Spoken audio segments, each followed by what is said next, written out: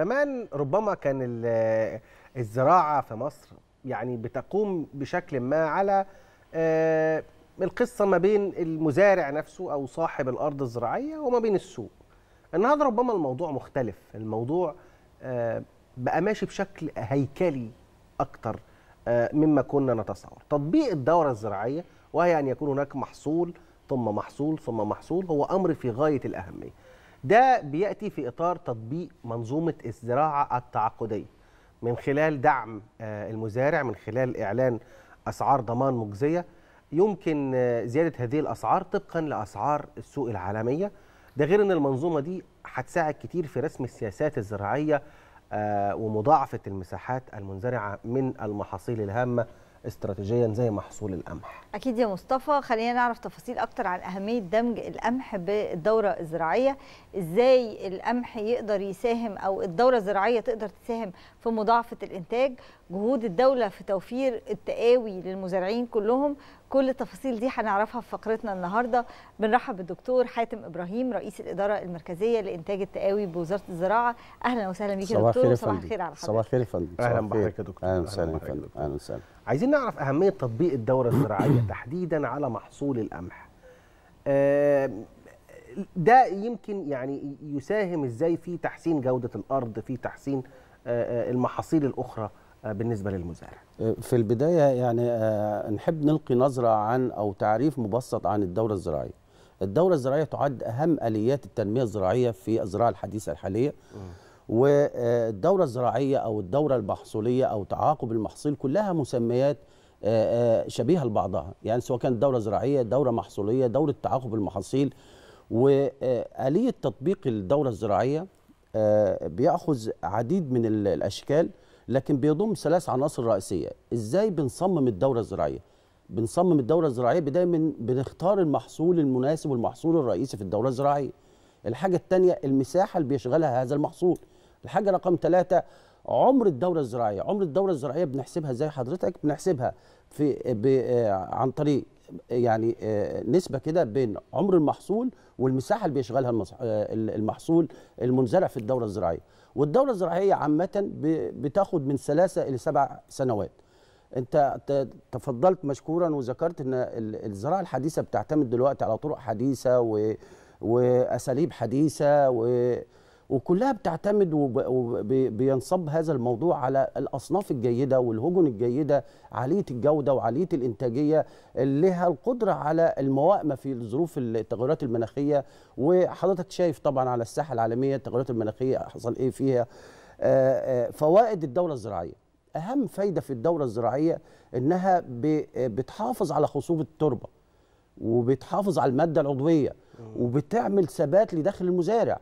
وأهم من كده وكده إن هي بتوفر آه، ال- توفير المنتج الزراعي للمجتمع المطبق فيه الدوره الزراعية آه، وتوفير ال- الإمداد الغذائي اليومي للمزارع عن طريق إيه؟ زيادة الإنتاجية من وحدة المساحة فصراحة الد- الدورة الزراعية تعد من أهم آليات التنمية الزراعية في في الزراعة الحديثة والموجوده حاليا يعني. ومنذ القدم ومنذ آه، عرف ال- القدماء المصريين الزراعه كان بيشتغلوا بالدورة الزراعية لكن ما يعرفوش الأساليب الحديثة للدورة الزراعية. هو كان بيشتغل عادي كان بيزرع محصول نجيل بعديه محصول بقول يعني محصول قمح بعديه محصول فول و عشان بيحافظ على خصوبة التربة وبتاعته. عشان وب- يحصل بقى nitrogen fixation أو بالز- تثبيت النيتروجين. في, في الأرض علشان نقلل من انتقال الأمراض لأن ده نوع من أنواع تاني بدل ما إحنا نستخدم آه، مبيدات أو كده لما بنحصل نوع من أنواع التغيير هذا- هذا صحيح كنا يا فندم. يتزرع فول ويتزرع بقوليات بعدين يتزرع قمح ونرجع تاني نزرع فول ب- بالظبط. لو حاجات تانية غير القمح هو يعني بيزود الانت... بيزود الإنتاجية وبيعظم. ال- الموارد المتاحة ليه بيعظم الموارد المتاحة إيه من الأرض وحدة المساحة الموارد المتاحه من الري الصرف الميكنه الزراعية فهو ال- المزارع المصري بطبيعته يعني زي ما إحنا بنقول هو دكتور نفسه هو عارف هو بيعمل إيه. وبالتالي يعني إحنا من خلال البرنامج تسمحوا لي ان يعني نوجه الشكر للأخوة المزارعين اللي هم بالفعل هم صمام الأمان الغذائي في مصر. طيب ده كان بيساعد على آه، لو لو اتطبق الدورة الزراعية زي ما هو بقى مطلوب إن هو يتطبق طول الوقت. ده هيساعد على تعاقب المواسم المختلفة وتقاربها آه، بشكل كبير فيعظم من دخل المزارع؟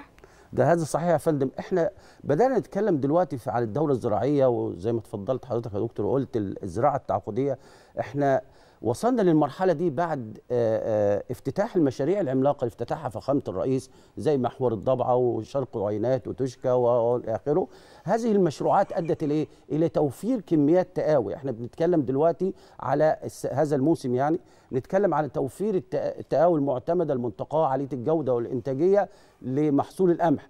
إحنا في الخطة بتاعتنا إن شاء الله السنة دي إن الزراعة أو الدولة مستهدفة إنها تزرع على الأقل 4 مليون فدان. وإحنا ولله الحمد مع الشريك النجاح الشريك الأساسي في التنمية الزراعية والشريك القطاع الخاص قدرنا نوصل لحوالي 250 ألف آه، طن تقاوي. هذه الكمية تكفي لزراعة تقريبا حوالي 4 مليون فدان. وبالتالي إحنا قدرنا نتكلم دلوقتي على الزراعة التعاقدية قدرنا نتكلم على الدوره الزراعية عشان إحنا زي ما قلنا لحضرتك في الأول إن الدوره الزراعية بتؤدي إلى زيادة الإنتاجية وتحسين ال- ال- ال- التربة. زيادة الإنتاجية لا تأتي زيادة الإنتاجية إلا بالتقاوي المنتقاه عالية الجودة وعالية الإنتاجية وبالأصناف وبالهجن. وبالتالي إحنا وصلنا لمرحلة الحمد لله ويمكن حضراتكم جميعا والأخوة المشاهدين ملاحظين أو مشاهدين أو عارفين إن في قفزات حصلت في ملف التقاوي عامة.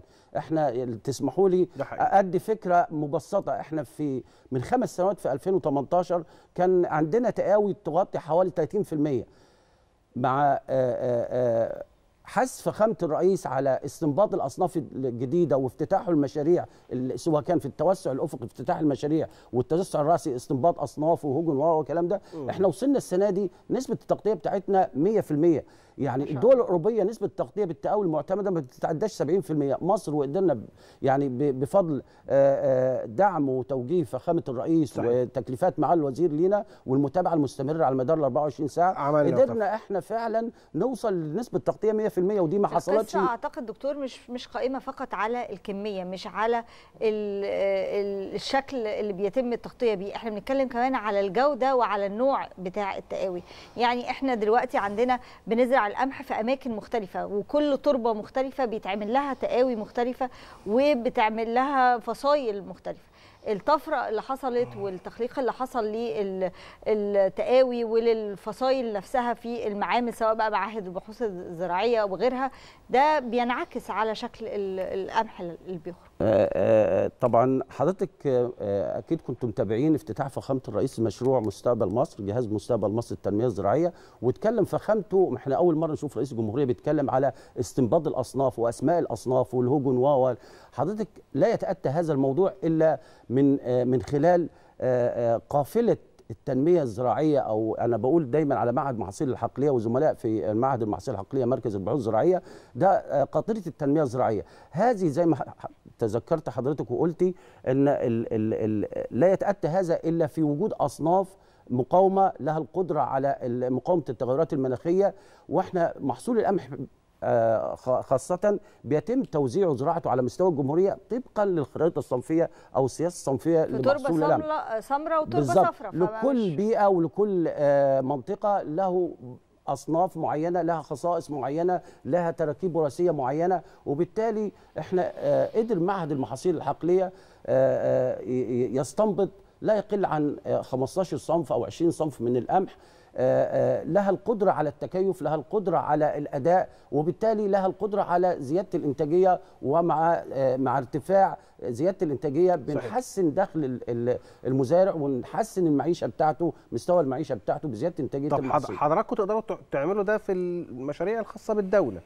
زي شرق العوينات زي مستقبل مصر زي كل المشاريع آه، آه، آه، جهاز الخدمة الوطنية أو الدولة المصرية. ولكن مكاتب الإرشاد الزراعي بتعمل إيه مع مع المزارعين اللي بيمتلكوا أراضيهم؟ يعني هل حضراتكم بتقولوا لهم اعملوا كده آه، سووا كده عشان الدورة الزراعية تطلع كده حطوا القمح وسط يعني آه، آه، محاصيلكم؟ كيف يتم التوجيه أو كيف يتم الإرشاد الزراعي؟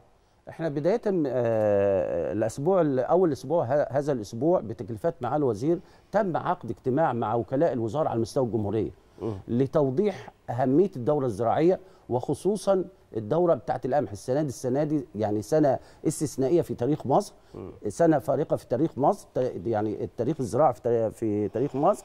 وقدرنا نتكلم مع الأخوة وكلاء الوزارة على أهمية الدوره الزراعية. إحنا ليه عايزين نزرع مساحات كبيرة من القمح؟ وأنت حضرتك شايف تداعيات الأزمات الحالية على مستوى العالم. بداية من جائحة كورونا ثم تداعيات الأزمة الأوكرانية الروسية. آه، وفخامة الرئيس كانت ليه رؤية ثاقبة من قال لك لازم نعتمد على نفسنا. لازم يبقى لنا آه، آه، اعتماد على النفس ولازم يبقى عندنا أصنافنا ولازم يبقى نزود إنتاجيتنا حتى نأمن الأمن الأمن الغذائي بتاع بلدنا. ودور الإرشاد الزراعي دور مهم جدا. دور الإرشاد الزراعي دلوقتي لا يقتصر على المرشد الزراعي. دلوقتي في وسائل حديثة الذكاء الصناعي ووزارة الزراعة أطلقت العديد من ال- ال- ال- البرامج الحديثة والابلكيشن على الموبايل و ليقدر يوصل للمزارع ويرشده بالأهم الأصناف والممارسات ال- المقدمة للصنف والتعليمات ال- ال- ال- ال- الزملاء الم- المرشد الزراعي ال- الأخوة المزارعين. وبالتالي إحنا بنسلك العديد من الطرق للوصول إلى المزارع. إحنا يهمنا في الآخر المزارع. يهمنا المزارع بياخد صنف بياخد مثلا ساخ 95 مصر واحد مصر ثلاثة طب إيه التعليمات للزراعه بيزرعوا إزاي؟ التوصيات الفنية بتاعته إزاي؟ طورتوا الحقول الاسترشاديه تاني يا دكتور بحيث إنها تبقى داعم أكتر للمزارع الحقول الارشاديه في السنوات السابقة يا فندم كانت لا تتعدى عن 2000 3000 حقل إرشادي. العام الماضي وصل لنا 7000 حقل إرشادي. وبالتالي دي الحقول الارشاديه ما هي العملية الزراعية هي عبارة عن الفلاح والمرشد الزراعي والباحث اللي مطلع الصنف ده. وبالتالي يا فندم المرشد الزراعي ده عصب ال ال ال الزراعة. المرشد الزراعي واخد حاليا دعم من ال- الدولة. وإحنا نتمنى إن شاء الله إن آه، آه، آه، مزيد من العطاء لل- للقطاع الإرشاد الزراعي في وزارة الزراعة حتى نصل إلى إلى إلى مكان المزارع وفي الوقت المناسب وتوصل له المعلومة في في الوقت المناسب. طب نقدر نقول إن عملية تعميم الدورة الزراعية على كل المحاصيل مش بس القمح يعني عندنا آه، فول الصويا عباد الشمس الذرة آه، الشامية البيضاء أو الصفراء محاصيل كتير. تعميم هذا الأمر في الدورة الزراعية فائدته إيه للارض ما أنا قلت لحضرتك الدورة الزراعية من أهم الفوائد بتاعتها بتعمل بتحافظ على خصوبة التربة بتحافظ على المادة العضوية بتحافظ على خصوبه التربة والمادة العضوية كله يؤدي إلى زيادة الإنتاجية. إحنا حضرتك في ملف المحاصيل الزيتية أو المحاصيل الاستراتيجية وأهمها دوار الشمس وفول الصويا. آه، آه، حضرتك يعني آه، لك أن تعرف إن في 2018 آه، آه، وزارة الزراعة أو الإدارة المركزية لإنتاج التقاوي كان لدينا 50 كيلو جرام من دوار الشمس تقاوي. دول ما يزرعوا 10 فدن أو 15 فدان. إحنا السنة دي وصلنا ل 200 طن تقاوي من دوار الشمس. ودي آه، إنجاز هذا- كبير. هذا إنجاز ويحسب لمعالي الوزير إن هو آه، آه، آه، أعطانا تعليمات وتكليفات طبعا إن إحنا لازم يبقى لنا آه، آه، وضع أحسن من الأول بكتير طبعا في المحاصيل الزيتية. مهم. سؤال أخير هل الدورة الزراعية لها علاقة بإن في محاصيل بعينها بتطلع في سنة كويسة؟ وسنة أقل آه، آه، في الجودة يعني سالتني السؤال ده في بداية آه. آه. الحلقة قلت لك لا المانجا فيها ظاهرة تبادل الحمل آه. مش ملهاش علاقة بموضوع الدورة الزراعية ولا لا هي ظاهرة وراثية موجودة أو فسيولوجية موجودة في المانجا مرة سنة آه، في حمل وسنة ما فيش حمل آه. أكيد. طيب آه، دكتور يعني إحنا خلاص وقتنا خلص لكن خلينا نقول إن حصل نوع من أنواع التضافر كده للجهود اللي حصلت في الفترة اللي فاتت. عندنا صوامع غلال محترمة. إحنا مش بنتكلم بس إن إحنا بنزرع وبعد كده الحاجة بتبوظ لأ إحنا بنزرع وبعدين بنعرف ننقل ونخزن. فإن شاء الله يبقى ده يعني ينعكس علينا. اسمحي لي حضرتك يعني أوضح بس نقطة بسيطة اتفضل. للإخوة المشاهدين.